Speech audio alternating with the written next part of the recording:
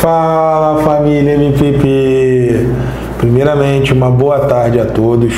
Sejam muito bem-vindos a mais uma correção do QUIS. Para quem não me conhece, sou o professor Marcão. E sem mais delongas, sem querer corococó, vamos direto ao ponto. Aumenta o som e olho na tela. Olha aí, pessoal. Quis contagem PM Paraná. Repete aí na sua casa. Para cima deles e não deixe o inimigo agir. Tá aqui, ó. Juntos conseguiremos, juntos somos mais fortes. Então, pessoal, indo direto ao ponto, vamos à correção do quis, sem mais delongas. Olha a questão aí na telinha. Só lembrando, né, a galera que não conhece, né? Vamos lá. Como é que você faz? Ah, Marcão, pô, tô aqui pela primeira vez, tô perdidão. Pô, que parada é essa de 15? Então vamos lá, pessoal, você que não conhece. Primeira coisa que você vai fazer, siga-nos nas nossas redes sociais. Primeira coisa aí, é essa daí, você vai seguir a gente nas redes sociais. Por quê? Vamos lá. Todas as segundas e quartas publicamos o Kiss nas nossas redes sociais, Facebook e Instagram. Então é muito fácil de você participar, basta você seguir. Né? Seguindo lá a gente, você vai ter acesso ao Kiss. Então todas as segundas e quartas rola a publicação nas redes sociais. E toda terça e quinta rola a correção aqui no canal. Então, interessante é você tentar resolver e depois acompanhar aqui juntinho com a gente a correção. Sempre nesse horário, às 15h15. Sempre, sempre, sempre. Beleza? Então não tem mistério. Para participar é muito fácil. Ah, Marcão, quero resolver a questão, quero ver como é que eu faço. Siga-nos nas nossas redes sociais. Então, vamos lá.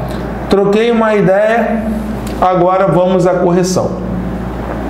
Uma corrida é disputada por oito atletas.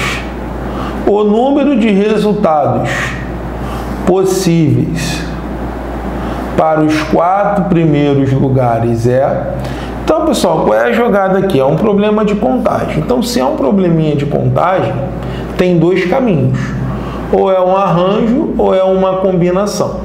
Beleza? Ou é um arranjo ou é uma combinação. Como é que eu sei né, que esse probleminha é de arranjo? Né? Ah, Marco, como é que você sabe, assim, de bater o olho, como é que você pode afirmar que esse probleminha é de arranjo e não é uma combinação?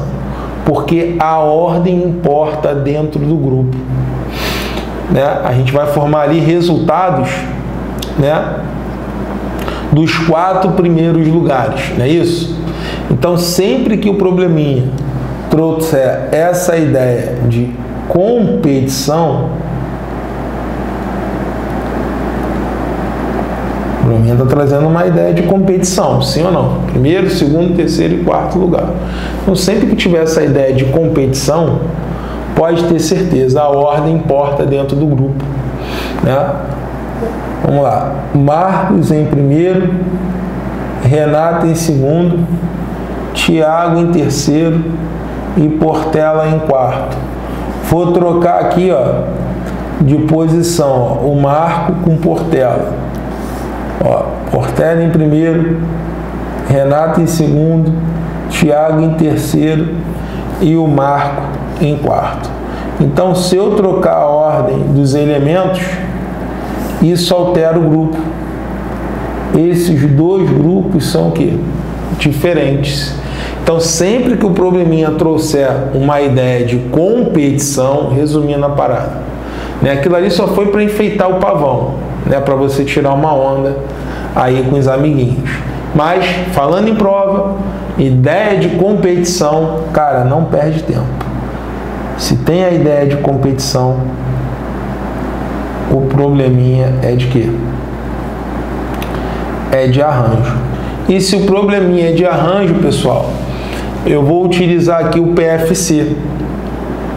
Nós não usamos a fórmula, nós utilizamos o PFC.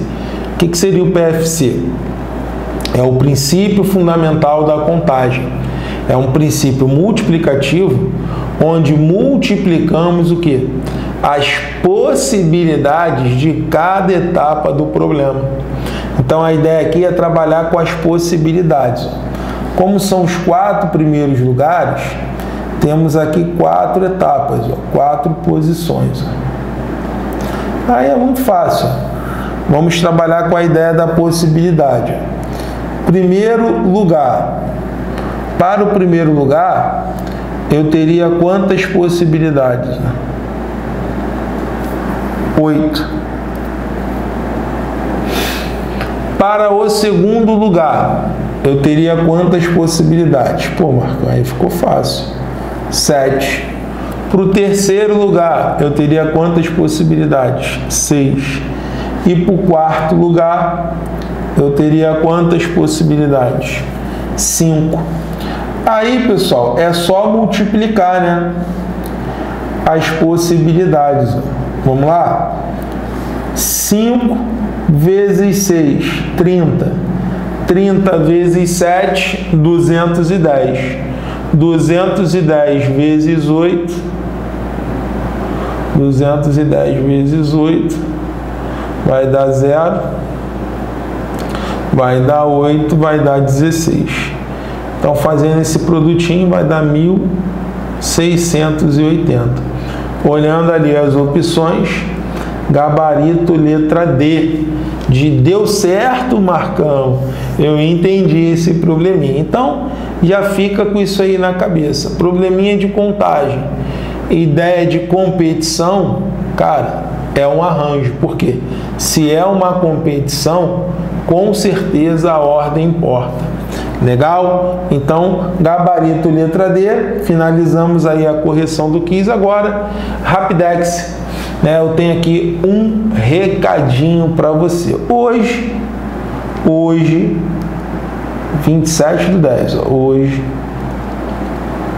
às 20 horas, faremos uma live né, de juros simples. Ou seja, vai rolar um mega aulão hoje, né, ao vivo aqui no canal para você. Que horas? Repete aí, Marcão. Às 20 horas. Totalmente gratuito para você ficar de cara pro gol. Então, já anota aí na sua agenda, hoje às 20 horas, aulão ao vivo de juros simples. Beleza? E você, como sempre, é o nosso convidado. Então, anota aí bonitinho e daqui a pouco, né, a gente vai trocar uma ideia sobre juros, juros simples. Daqui a pouco a gente vai trocar uma ideia sobre juros simples. Daqui a pouco é muito rápido, passa muito rápido. Né? Você vai fazendo as coisas aí do seu dia a dia, daqui a pouco já está lá às 20 horas. Então, por isso que eu estou pedindo para você anotar, porque você é sempre, sempre, sempre o nosso convidado. Legal? Quis corrigido? Vou me despedindo e, como eu falei, às 20 horas, ao vivo, aulão de juros simples. Forte abraço. Matemática é o que? Para passar. Valeu. Abraço.